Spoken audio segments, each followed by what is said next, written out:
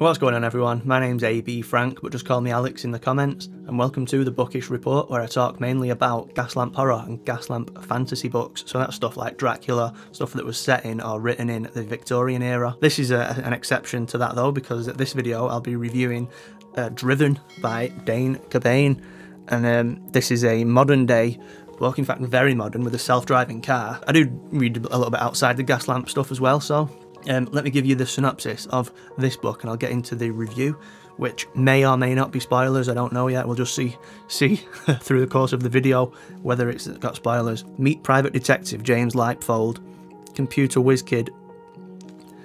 Here's the thing, let me uh, stop just there. This, there's a character that I'm going to say now whose name is like the, the names in the fantasy genre where, where they're hard to pronounce and there's different variations of pronouncing the name and uh, the fan base don't really know which one's which, which one, which one to go with. But Charles Heathcote spoke about this book recently, and he called uh, this main character M- which I thought, yep, that's better than my effort, so that's what we'll go with. It's spelled M A I L E. I don't know if I've never seen that before. I don't know if it's normal or not, but well done, Dane. In fact, names in this are, um, in fact, you'll see in a second, names in this are a bit, you know, uh, unique. Uh, so, meet private detective James Leipfold, computer whiz kid Maile O'Hara, and good natured cop Jack Cholmondeley in the first book of the Leipfold series. A car strikes in the middle of the night and a young actress lies dead in the road. The police force thinks it's an accident, but Maile and Leipfold aren't so sure.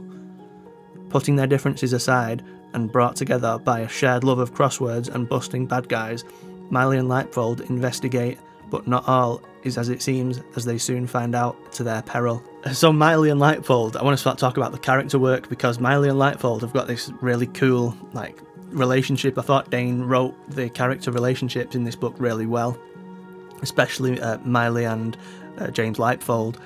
And so it, so it says there that they have a, a shared love for crosswords. So Leipfold does the, the crossword in a newspaper in the mornings at his desk and he sits down one morning to do it and it's already done and he looks up at Maile and she's over at her desk grinning at him and I, that scene just sort of stuck with me. I thought it was funny and I can just imagine it. Um, so yeah. So this this Maile then she's like new. She turns up and sort of offers her services as being a good good with computers which help with the case.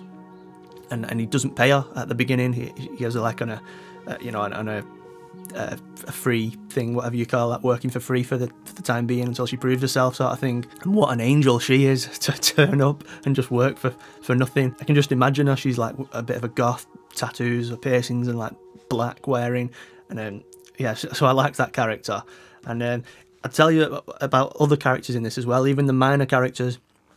They were done really well. They didn't seem like they were just just sort of throwaway uh, characters that they all even uh, even the minor ones seem to have a little bit about them. Like Dane took some time to, to make make these characters have something about them. And, and the pacing in this book was really good as well. So this sort of book um, you, you could you tend to get sort of like here's something that's happened here's a clue so let's go and check out this person let's go and ask these per- this person some questions then let's go to this place and check out that and then one one thing to the next to the next to the next and it seems a little bit predictable a little bit formulaic and, and linear.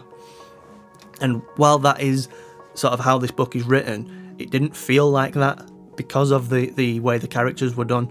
Then there was a bit more to it there was a bit more about uh, about the writing in this than just like here's a thing here's a person here's a place here's a clue and and you know straight on to the next. It did seem to to uh, to, to stay with the characters a little bit more and and we got a little bit of, of who these people are these characters are which uh, is testament to Dane and, and his talent and skill as a writer. He did that really well. Um, I don't know why I've just started gesturing with the book in my hand. But yeah it's this is a really good entry. Um, and this copy I should say I should have said at the start is um, no longer available. Dane sent me this and uh, I've got it signed by him. Hey Alex, hope you enjoy. This is actually a first edition from the original print run before Encircle picked it up to republish it. You can't get these anywhere else. Cheers. And, uh, and it's signed.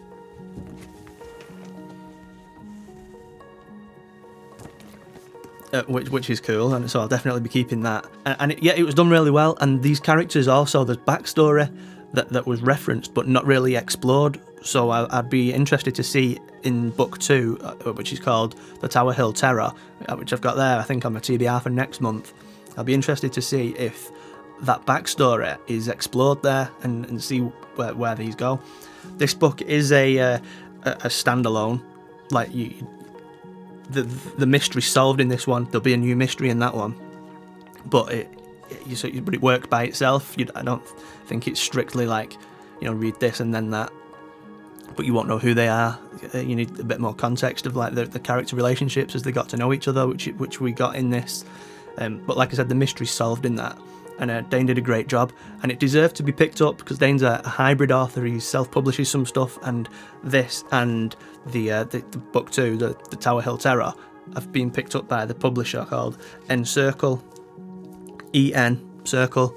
Um, so and he deserved that as well because he's done a really good job with it, and it shows like self-publishing isn't you know the, the lower quality stuff. There is uh, you know some talented writers out there, um, so indie authors all the way. But anyway, that's going to do it for this uh, this uh, review of Driven by Dane Cobain.